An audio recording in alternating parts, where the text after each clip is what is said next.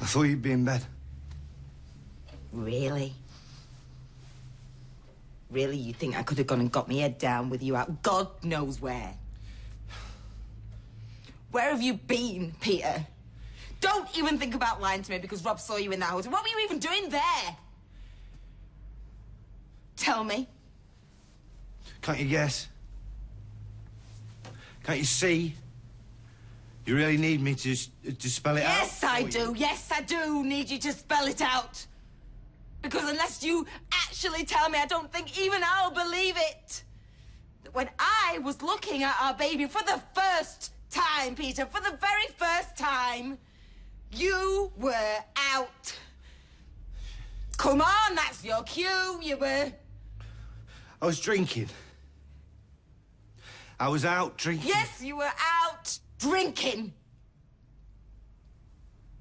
So, okay, so.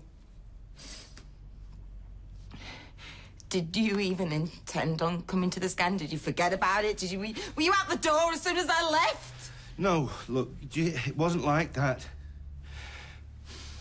It's complicated. It's not complicated. It's not really, is it? I'm so sorry. Don't you dare say sorry. Don't you say Sorry. that. Don't. Don't you dare say you're sorry. Don't say if you don't claim and mean it. I do mean it. I do oh, mean it! Oh, well, it. then there's I'm no hope for us, then, is there? I'm sorry. I'm sorry. What hope is there? If today of all days, you couldn't stop yourself from having a drink.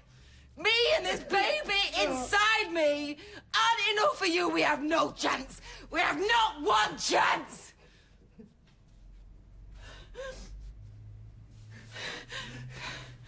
Our beautiful baby. In case you're interested.